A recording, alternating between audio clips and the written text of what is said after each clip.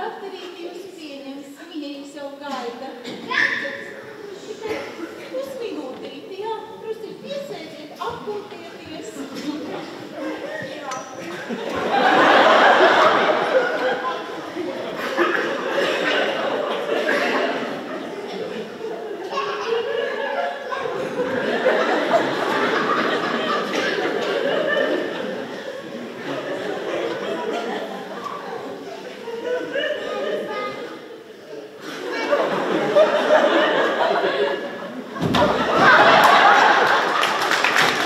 Ārsti, pacienti, mīlnieki un pagalmā sēdošas tantiņas tenku vāceles. Šos un citus nemazāk amizantus personāžus skatītāji redzēja skeču parādē Vai tu neaizmirsi, kas ir smaids, kas norisinājās Ciblas novada Blontos. Pirms diviem gadiem Blontos tika nodibināts amatieru teātris un pēc pirmās jubilejas nosvinēšanas radās ideja veidot plašāku pasākumu, kurā varētu piedalīties arī citi amatieru teātri. Pagājušajā gadā atbrauca mums tikai no Dilžas, viņa šogad arī būs un blonti bija. Šogad diezgan daudz. Jana iesu, uzsūtīja diezgan daudz izsūtīja ielūgumu, bet atsaucās desmit. Šodien e, mēs gaidām astoņus ciemiņus, astoņus kolektīvus, gan no bijušā Balbu rajona, gan tagad bijušās Ludzas rajons.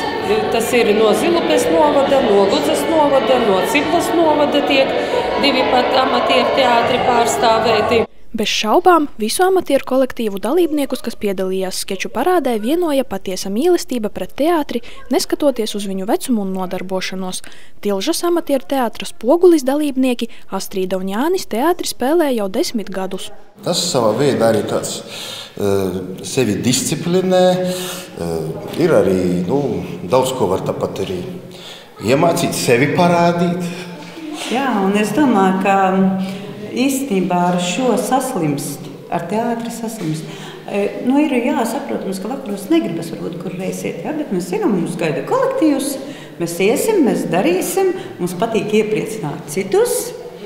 Un, nu, jā, tā mēs sakomies, un pašiem arī priecāties. Jā. Spoguļa rādītajā skečā ar melnā humora palīdzību tika parādīti precēta pāra mēģinājumi pierādīt apkārtējiem, ka viņu ģimene ir ideāla. Tajā pat brīdī viņi ir tik ļoti aizrāvušies ar savu attiecību skaidrošanu, ka pilnībā novērsušies no realitātes un saviem bērniem. Es esmu gatavs tevi nožņaukt. un es tev iebēršu zupā cienkālīni. Nu, ko tu tur smalsti, nu ētē? Nesmalsti. Kas tas, kas tas ir? Lūdzu?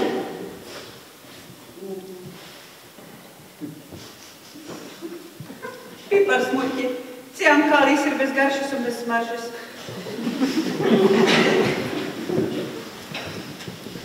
Bet līdumnieku amatieru teātris tika nodibināts pirms četriem gadiem, un šāda veida salidojumā viņi piedalās pirmo reizi. Kolektīva dalībnieki atzina, ka pašiem visvairāk patīk spēlēt komēdijas, tāpēc arī šoreiz tika izvēlēts skečs par dakteri. Šo skeču tieši šim pasākumam veidojam. Un kāpēc tieši par šo tēmu? Ne, atradām, mums ir tādu skeču grāmatu ar autors Pēteris, Ēteris, un šis patika vislabāk un arī izvēlējāmies. Kāda sajūtas šodien, kā piedalāties tik daudz uh, kolēģu? Labas, prieks. Droši vien arī nākošgad piedalīsimies. Skeču parādes organizatori cer, ka amatieru teātru salidojums kļūs par jauku tradīciju, kas iezīmēs pirmo adventes nedēļu.